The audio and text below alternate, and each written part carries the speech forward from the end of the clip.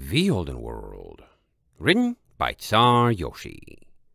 Chapter 638 Let It Go. With a slicing of wings, Valet glided to a stop on the Immortal Dream's deck, crouching and letting Starlight hop off her back. Well, here we are, she sighed, looking at the door below. Wanna place bets on the odds of that prince still being here? Starlight didn't, so she kept quiet. But the bridge was empty, and so was the library, and at the sounds coming from the hall below, everyone there was at least having a good time. Hello! Valet flipped down the staircase, the ship's dining hall brightly lit and smelling of laughter and food. Around the table, everyone was present, from Gazelle to Wallace to Shinespark to Senese and all her sisters. Gerardo helped Maple carry a deep, steaming tureen from the kitchen, while Amber sat next to Slipstream and giggled at a joke, and even Jam Jars lurked in a corner, laying on one of the room's side benches with a plate of scalloped potatoes. Shinespark sat limply, propped up in a chair with pillows and eating using her horn, and Amber immediately waved. Ah, hey everyone! Valet blinked, no sniffing, smelling stewed carrots and leeks and mushrooms and onions and turnips and everything savory anyone could ask for. Bananas, what's the occasion? Who needs an occasion for a feast, young Valet? Wallace grinned, holding a plate that was smaller than his talons. Maple carefully set her vat down, adding more rich, earthy smells to the room as it steamed.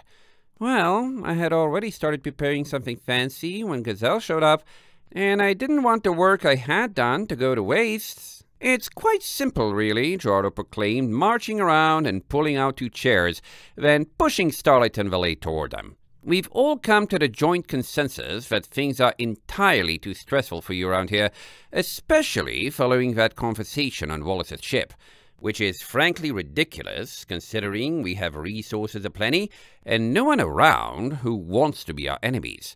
If you still want to go to Mistveil, you'd be hard pressed to leave us out, but first, we are all going to sit down and have a good time. It's been quite the show with a good time already, Felicity sang, her long, carefully styled mane tied back so it wouldn't risk touching gravy. Your friends here really know a thing or two about letting loose. Maple blushed. Mostly votes free, she murmured, pointing to Wallace, Marina, and Diego. And Amber. Gerardo jumped to his friend's side. And Slipstream. And also Prince Gazelle. Uh, Gazelle looked up from a loaf of bread that was half bisected by his razor teeth. I'm a prince, he said, with his mouth full. You expect me to not take my revelry seriously? Yes, Senese folded her ears. Serious or not, it's very nice of you all to put this on for us. Sounds like it has as good a reason as any to me, Gazelle proclaimed, patting her hard with a wing on the back and nearly making her choke. So, what's all this reaching my ears about an excursion to Mistveil? He raised an eyebrow at Valet. Ah, Valet hesitated, completely unsure of what he knew and what she should say. Fortunately, Wallace jumped to her aid. Prince, he boomed, a twinkle in his eye.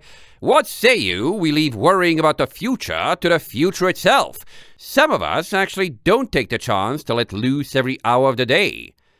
Gazelle actually listened, and the room suddenly went about its jovial atmosphere as if Valet had been there all along. Starlight sat to her left, the filly's initial surprise having been pushed aside in favor of sliced bread and a bowl of soupy stew for dipping, and Shinespark was on her right, slowly lifting things to her mouth that didn't require a lot of chewing, watching Valet all the while. Hey, Valet gave half a grin. Good to see you up and about. How much better are you feeling? A small notepad hovered up beside Shinespark, set itself on the table, and she quickly wrote something. Just whispers, but hard to hear here. Writing fine? Valet tilted her head. Your horn works again, Vo? Shinespark smiled. Hey, good to have you back, Vo. Valet returned it with a grin. Maybe once this quiets down a little, we should hang out sometime? Please visit. Lonely sometimes. Oh, uh, yeah. Valet's ears fell. Sorry about that. Been a little busy with everything. Yeah, Vo. But hey, at least this helps with that. Absolutely, Shinespark scribbled. And it's okay. Heard you have it bad. Valet rubbed an ear, scanning the table for what she wanted to indulge in first. Yeah, it's been a ride. So, this is all Maple and Gerardo's idea or something? Sure seems successful. Amber and Wallace's. Maple and Gerardo helped. Very successful. You enjoying? Valet took a deep breath, surveying the entire room. Maple, Amber, and Shinespark, friends she deeply counted on. Gerardo and Slipstream, less close friends who were still friends anyway. Wallace and his crew, whom she was fighting desperately in the tournament, yet were completely on her side. Gazelle and the Bat Ponies, who seemed to want to be friendly, even if she had no idea what they were up to. And all of Isvaldi outside, with an insane advisor and desperate ruler and rotten core, yet still peaceful and determined to be nice to her anyway. You know what? She nodded slowly at Shinespark. Yeah, I think this is actually exactly what I needed. Thanks, Sparky. Thanks for doing this, everyone.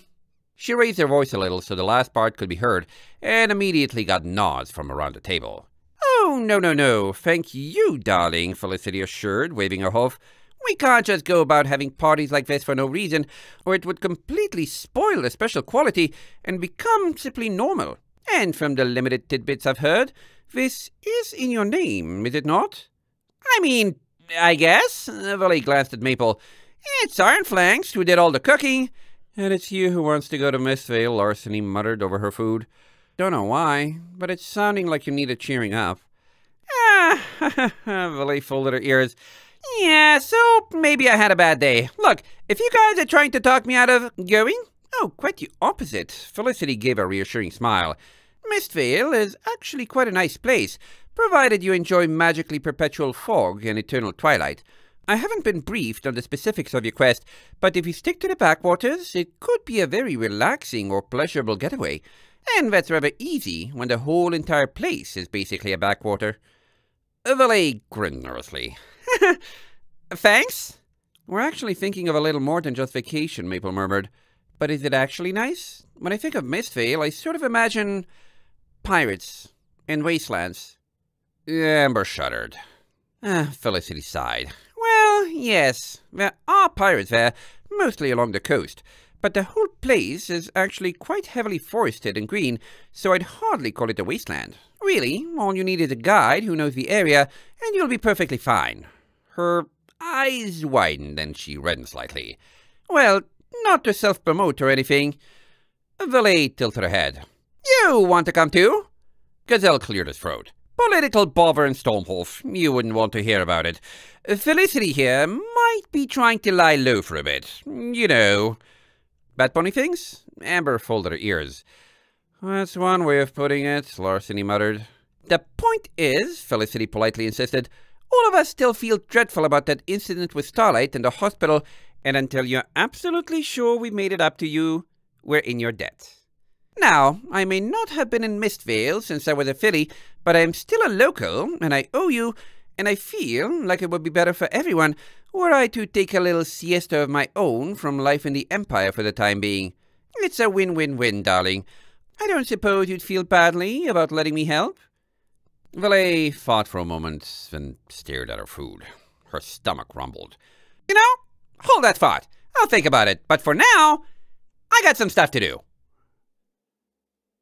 End of chapter 638.